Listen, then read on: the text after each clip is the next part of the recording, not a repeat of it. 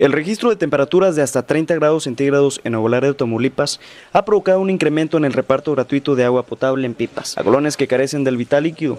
Y es que para abastecer a 500 familias que no cuentan con este servicio, las pipas aumentaron sus recorridos y en vez de dar 20 viajes diarios, ahora realizan 25, repartiendo más de 8 mil litros de agua potable. Sí, sí ha visto un poco el incremento debido a los calores que se han venido suscitando estos días. Eh, estamos manejando un promedio de 20 viajes diarios en total a todas las colonias. Los trabajadores municipales han empezado a trabajar horas extras para poder abastecer a la población que requiere de este servicio. Yo digo que ahorita se van a hacer cuatro viajes, lo que es el turno, de las 7 a las 3. Y, este, y anteriormente pues echaban en veces dos, tres. Pero ahorita yo creo ya van a ser más aparte de los cuatro, en vez de cada uno trabajar tiempo extra para dar más servicio.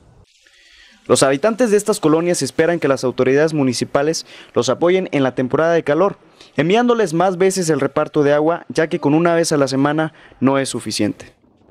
Pues yo pienso que sí deberían de, de mandar la pipa, mm, de periodo dos veces, porque ya entrando el calor pues no nos va a alcanzar el agua. Hasta ahorita hemos visto que está bien, nada más que pues, pues sí, ya, empiezan los calores y se necesita un poquito más del de, agua, eh, que de repente se acaba por, por el calor que uno necesita más.